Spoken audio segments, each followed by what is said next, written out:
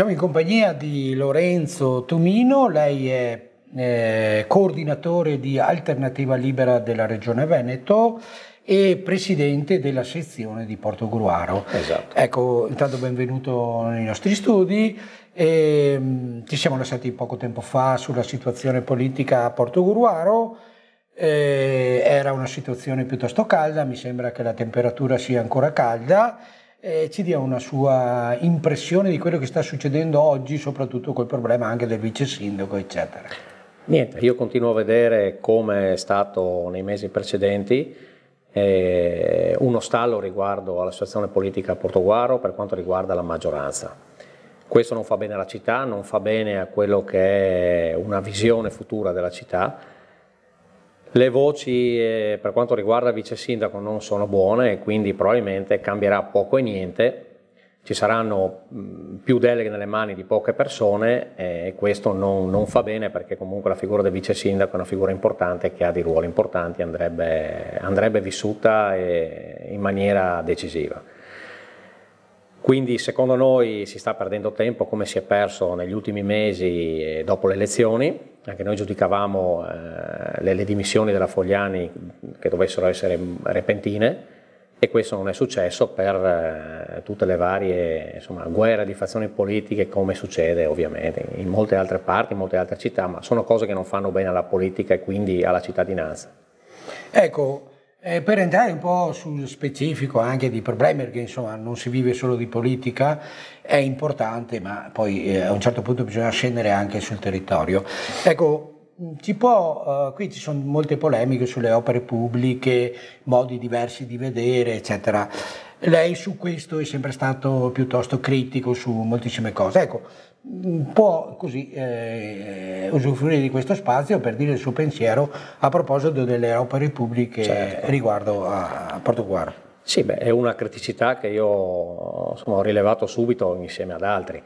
Eh, sicuramente questa giunta è una giunta un pochino di, di proclami, no? Allora dovevano iniziare eh, con opere pubbliche, con eh, l'acquisizione di fondi europei che sono importantissimi insomma, per, per, avere soldi da spendere sul territorio. E io dico la politica deve essere non fine a se stessa ma deve servire eh, al bene dei cittadini perché la politica ha un effetto, può piacere o non piacere, ma ha un effetto sulla vita di tutti quanti, perché la politica prende le decisioni che poi si attuano sul territorio. E i soldi sono decisioni, no? Possiamo iniziare per esempio con il parcheggio in Via Valle eh, che ha creato un sacco di polemiche, doveva avere dei fondi europei, poi è stato bocciato e, e anche lì 220-230 mila euro di cui ancora le specifiche non sono ben chiare. Poi si è passati alla tanto rinomata sostituzione del senso di marcia e dell'entrata del centro che era un, una bandiera voglio dire, di, di, di vittoria da parte della giunta, criticata da subito perché è palese che eh, un cittadino eh, o un imprenditore non investe in una città se è cambiato il senso di marcia, ma va a spendere o investire se questa città è attrattiva a livello economico o culturale o di proposte. E quindi all'inizio sembrava che cambiando il senso di marcia, spendendo eh, cifre vicine ai 200.000 euro tra eh, apertura di parti eh, pedonali, cambio di cartelli, segnaletica stradale, strisce stradali, si è speso un patrimonio eh, però no, questo non ha giovato alla città.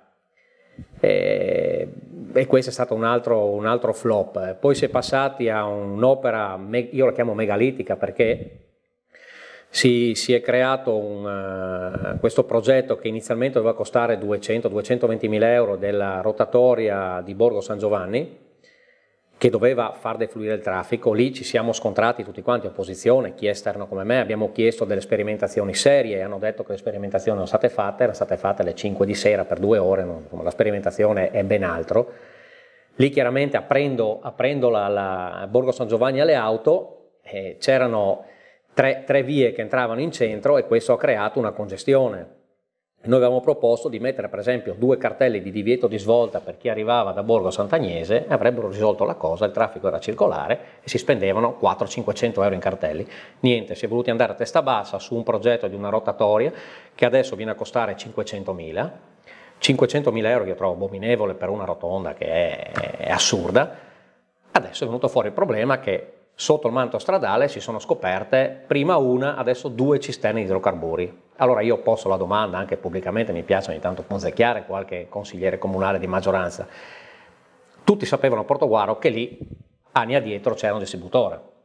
Se c'era un distributore ovviamente c'erano delle cisterne. Chi adesso siede in maggioranza era in maggioranza anche con la giunta precedente, quindi ha in mano i piani regolatori da 10-15 anni, ha in mano lo storico di quello che è l'edilizia, ha in mano quello che è lo storico degli interventi fatti. Allora, o non sapeva, ed è grave se non sapeva, che sotto il manto stradale ci fossero state insomma, delle cisterne da rimuovere, quindi bonificare, oppure mancano le competenze come dice qualche consigliere di maggioranza. Se mancano le competenze, allora abbiamo ben chiaro perché questa giunta ha dato molti posti di comando eh, alla vecchia giunta PD. E qui creano tutto questo, tutto questo serie di inefficienze e di spese. Questa rotonda adesso pare, pare che con le opere di bonifica necessarie per estrarre le cisterne, eh, bonificare e riasfaltare andrà a costare quasi 600 mila euro e sono altri 600 mila euro. Ricordo anche che erano stati trovati nelle pieghe del bilancio per accantonamenti, qui va fatto un applauso, insomma la giunta precedente aveva a livello di bilancio perlomeno aveva lavorato bene, erano stati trovati circa 200 mila euro un anno e mezzo fa. Noi avevamo proposto questi 200 mila euro degli interventi in eh, promozione turistica, in cercare di, di, fare accordi con i comuni vicino per cercare di creare attrattiva turistica, dei percorsi turistici, almeno 2-3 aree camper, magari da gestire insieme ai comuni, come ha fatto benissimo Sesto Regena, per esempio, spendendo molto poco e con bandi europei. Avevamo proposto di ehm, potenziare molto quella che era l'offerta informatica a livello di eh, PC nelle scuole, avevamo proposto di andare verso una Portoguaro 4.0 con l'introduzione di punti elettrici, di potenziare il wifi con l'acquisto di magari due auto elettriche per il comune, cominciare a pensare a quella al Portoguaro di un domani. Questa giunta cosa ha fatto? L'80% di questi soldi sono stati spesi in autovelox. Allora, gli autovelox, bene, sono, sono uno strumento di cassa, può piacere o non piacere, ma è così. Ma se pensiamo di sviluppare cultura e turismo in una città con gli autovelox, per quanto mi riguarda, può essere opinabile dal punto di vista, io lo trovo non, non la via corretta. Ecco, e siamo arrivati quasi a un milione e mezzo di euro. Ecco, io ritrovo che, che, le opere pubbliche pensate da questa amministrazione non, non siano le opere pubbliche necessarie Ecco, Alternativa Libera non è in consiglio comunale, anche se lei è stato candidato a sindaco nelle precedenti amministrative. Ma in questo periodo ha approvato lei come gruppo che non ha rappresentatività in Consiglio Comunale di portare queste proposte, le vostre proposte, attraverso chi, a qualche consigliere comunale, attraverso qualcuno all'interno del Consiglio Comunale? Sì, allora noi abbiamo interagito con in particolare due consiglieri d'opposizione, uno è Zanin del Partito Democratico, con cui abbiamo avuto degli incontri positivi e abbiamo portato quelle che potevano essere le nostre proposte da eh, portare tramite loro e in particolare con la Manzato di Città dell'Emene con cui qualche proposta l'ha portata dentro, ma ovviamente ha trovato un, un muro come ma, spesso ma ci hai mai provato con qualcuno della maggioranza? Sì, avevo provato a contattare qualcuno della maggioranza, insomma il signor Barro, però non ho avuto la possibilità di avere incontri probabilmente per mancanza di tempo o di occasioni, non lo so. Io la trovo un'occasione persa perché insomma, le buone idee vanno prese da chiunque, da chiunque, arrivino. Io dico sempre, in questo paese non dobbiamo inventarci niente, dobbiamo solo prendere ciò che c'è di buono al di fuori di qui, che le, le cose buone sono tante. Ecco, oltre che a Portogallo, Portogallo è un paese molto grande, ci sono le frazioni, frazioni importanti perché hanno un ruolo importante nel, in questo territorio. Eh, un suo pensiero così a proposito delle frazioni? Eh, io trovo che purtroppo per l'ennesima volta a Portoguaro le frazioni siano usate solo come bacino di voti. Si comincia a parlare delle frazioni quattro mesi prima delle elezioni, dopodiché le frazioni spariscono. Eh, a parte le frazioni molto limitrofe al centro, come può essere San Nicolò, in cui si sta parlando molto di, di, di, di vari interventi, di un piano del traffico, eh, dei lavori sulla ferrovia, eh, eccetera, eccetera, le frazioni più periferiche, come può essere Lugugnana, sono molto lasciate a se stesse, possono vivere di qualche locale, specialmente la ristorazione, vive del passaggio del traffico estivo, ma anche lì riusciamo a intercettare veramente poco perché non c'è né promozione turistica, non c'è conoscenza di quello che è il, il portoguarese, eh, mentre quando le persone si riescono ad attrarre qui rimangono veramente meravigliate. Ecco, sarebbe da da creare delle opportunità per le frazioni che non siano solo un dormitorio per eh, anziani o operai, ma che crescono come eh, luoghi eh, in se stessi, cioè una frazione non può essere solo un bacino di voti sei mesi prima delle elezioni, nelle frazioni si vive, nelle frazioni si vota, nelle frazioni si pagano le tasse. Ecco, uno dei,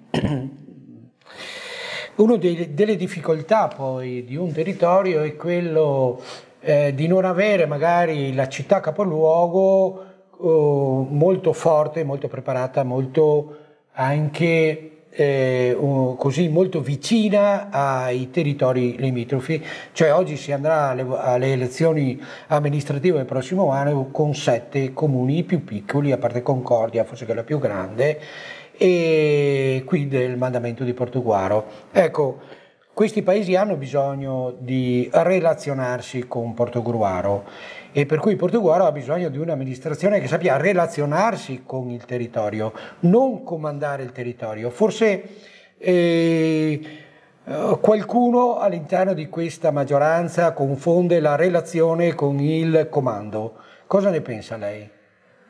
Sì, io trovo che Portoguaro, eh, essendo chiaramente la città più grande, quindi avendo anche il bilancio maggiore e l'attrattiva turistica maggiore, eh, con il territorio più vasto, necessariamente deve essere eh, la capolinea. Questo vuol dire avere una leadership forte, che appunto non vuol dire comandare, ma vuol dire avere una leadership, quindi prendere decisioni giuste che poi a cascata eh, creino un beneficio e delle decisioni che vadano eh, nella stessa direzione con gli altri comuni del mandamento. Ma serve anche avere delle competenze, perché senza le competenze eh, non puoi prendere decisioni giuste. E questo, mi dispiace dirlo, ma si è visto in quello che è la città di Portoguaro, le frazioni. Anche perché chi governa Portoguaro deve conoscere il portoguarese in tutti i suoi aspetti, perché oggi non sei più il sindaco di Portoguaro, ma devi relazionarti con gli altri sindaci, con gli altri territori, con tutte le loro esigenze. O le conosci o se no cerchi di, di eh, mettere in moto i tuoi muscoli solo perché sei più grande. Esatto, soprattutto con l'avvento della città metropolitana.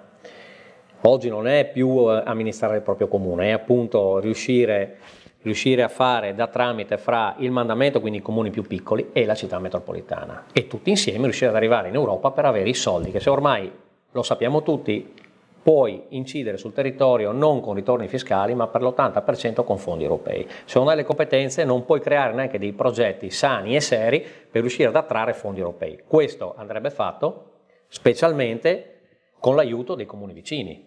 Ecco, parliamo un po' di lavoro. Ricordiamo che Lorenzo è anche eh, un componente della FIM CISL Metalmeccanici di Pordenone, e, anche se vivi in Veneto, ma eh, è uno che evidentemente segue anche la parte lavorativa essendo un sindacalista. Certo. Ecco, per quanto riguarda il territorio di Portuguaro e Portuguaro, ma il territorio in essere, eh, secondo lei eh, qual è l'aspetto più difficile per questo, per questo territorio per l'occupazione? Allora, io posso fare un, un, raffronto fra le due realtà che sono quelle dove lavoro io, che è la parte del Veneto occidentale, del Friuli occidentale, quindi la parte pordenonese, Sesto Arena, quelle zone industriali, e la parte veneta. Eh, molti portoghesi, quindi molta gente che risiede nel Veneto orientale, lavorano in Friuli perché eh, storicamente ci sono delle aree industriali un pochino più sviluppate. Portoguaro da sempre ha sempre rifiutato delle aree industriali definite perché sappiamo essere una realtà commerciale e agricola e non si è mai pensato seriamente di poter impostare quello che è la parte, la parte industriale. Eh, per quanto riguarda il mio settore, che è il settore metalmeccanico, nel 70% delle imprese la crisi è passata, siamo a livelli di fatturato che superano addirittura il 2007 e quindi le cose vanno abbastanza bene. C'è da dire che purtroppo negli ultimi dieci anni la crisi eh, è andata a incidere molto, oltre che sull'occupazione, sugli investimenti e da qui si è visto che il 2018 è stato un anno nero per quanto riguarda infortuni e purtroppo morti sul lavoro. Ecco, oggi è morta un'altra persona alle 11, non del settore metalmeccanico, comunque un operaio che lavorava a San Vito tagliamento, schiacciato mi pare fra due mesi, è una notizia abbastanza fresca, dispiace, quindi insomma condoglianze alla famiglia.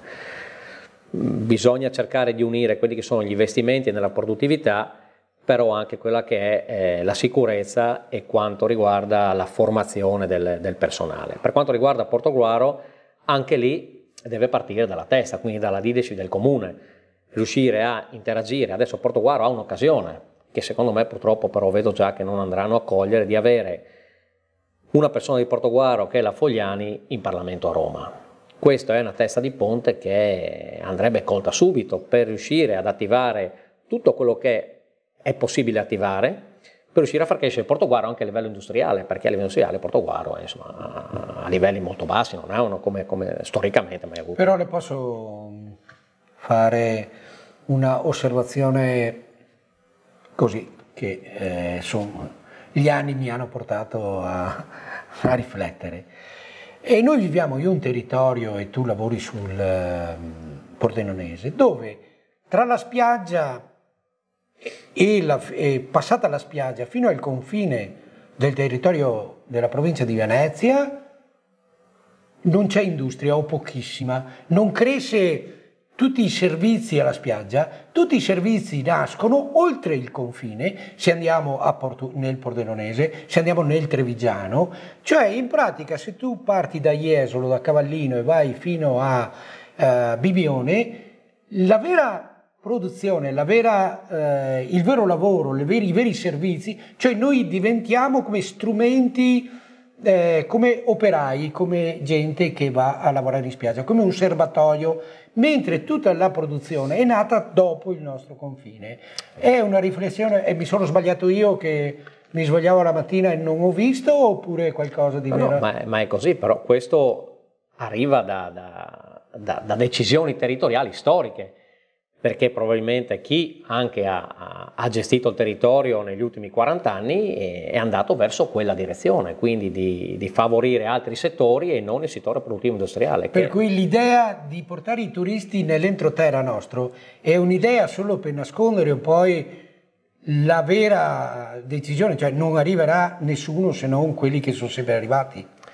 Eh, sì, però bisogna portare i turisti nell'entroterra perché è necessario, però quello va a sviluppare solo quello che è il settore culturale poco, perché ma il turista oggi intanto è molto pendolare, eh, la crisi l'hanno sentita gli altri paesi europei, io ho parlato con molti commercianti per esempio di quello che è la spiaggia, si sono lamentati delle dichiarazioni trionfalistiche, per esempio dei vertici di San Michele, no? che parlavano di anno boom per Bibione, loro dicono però gli incassi non sono aumentati molto anche gli altri paesi europei arrivano qua con le borse no? e vanno a fare la spesa magari nei, nei, discount, quindi questo è un segnale. Quindi il turista ti porta a quello che è il beneficio magari nel ristorante o nel bar, ma non sviluppa il territorio, cioè non è che lascia i milioni di euro. I milioni di euro li porti sviluppando ecco, quella che è l'attività terzistica, industriale di trasformazione. Un'altra cosa che le chiedo è, beh, eh, dopo tutta questa disanima, insomma, abbiamo visto tutta una serie di problematiche conosciute anche, ma però che servono per iniziare la campagna elettorale certo. per uh, il 2020, perché meglio parlarne due anni prima che, che all'ultimo minuto, almeno questo credo sia giusto. Ecco, il problema della comunicazione, della promozione e della comunicazione di un territorio. Eh, su questo un suo pensiero qui. Questo è importantissimo. Oggi sappiamo che ci sono degli studi in cui Chiaramente prendendo degli esempi dove, eh, per esempio, eh, quella che è il wifi, quello che è eh, la digitalizzazione e l'estensione internet, dove c'è comunicazione c'è sviluppo e lavoro. E questo è intanto il primo dato. Comunicazione non vuol dire solo eh, vuol dire andare a fare un'intervista o eh, eh, fare un'intervista sui giornali. Comunicazione e informazione vuol dire, per quanto riguarda, per come io vedo la comunicazione in un comune, è fare promozione.